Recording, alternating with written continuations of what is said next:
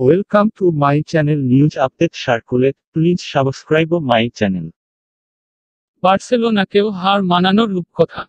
Champions লিগের শেষ ষোলোয় প্রথম রেডে প্যারিস সেন্ট জার্মের কাছে চার শূন্য গোলে হারের পর নু ক্যাম্পে ছয় এক গোলে অবিশ্বাস্য প্রত্যাবর্তনের যে রূপকথা লিখেছিল বার্সেলোনা তার চাইতেও নাটকীয় প্রত্যাবর্তন দেখা গেল ইউরোপা লিগের বাছাই পর্বে Zenit Saint Petersburg Dynamo Minsk ম্যাচে। রীতিমতো আলফ্রেড হিচকক খরানার ছবির সঙ্গে পাল্লা দেওয়ার মতো রুদ্ধশ্বাস সমাপ্তি। প্রথম লেগে মিন্স জিতেছিল চার শূন্য গোলে।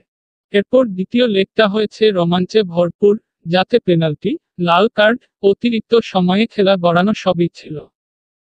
নিজের মাঠে ডায়নামো মিন্স চার শূন্য গোলে হারিয়েছিল জেনিট সেন্ট পিটার্সবার্গকে।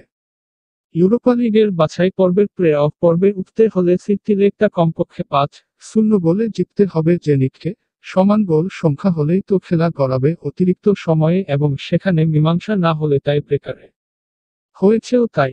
ম্যাচের বাইশ, পঁচিশ, পঁচাত্তর আর আটাত্তর মিনিটে গোল জেনিটের নির্ধারিত নব্বই মিনিট শেষে দুই লেগেই ঘরের মাঠের দল চার, শূন্য বলে জয়ীর আসনে। কিন্তু তাতে করে তো হিসাব মিলছে না।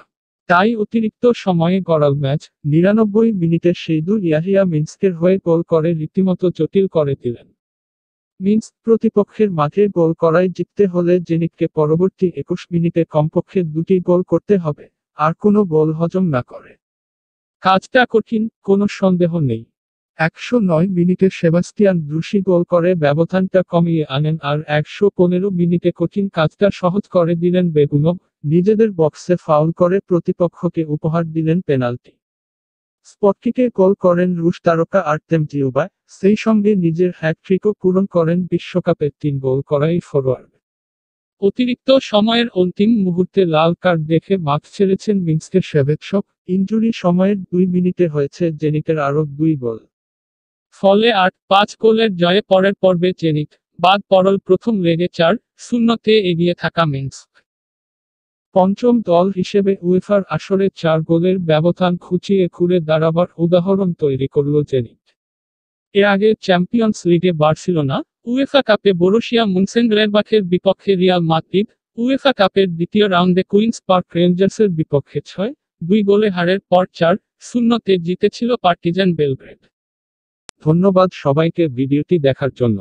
আমার এই ভিডিওটি আপনাদের যদি একটুও ভালো লাগে তবে অবশ্যই একটি লাইক দিবেন। আর হ্যাঁ অবশ্যই আমার চ্যানেলটি সাবস্ক্রাইবও করে রাখুন পরবর্তীতে নতুন কোনো সংবাদ বা ভালো কোনো ভিডিও পাওয়ার জন্য। আজকের মতো এখানেই শেষ করব। আল্লাহ হাফেজ।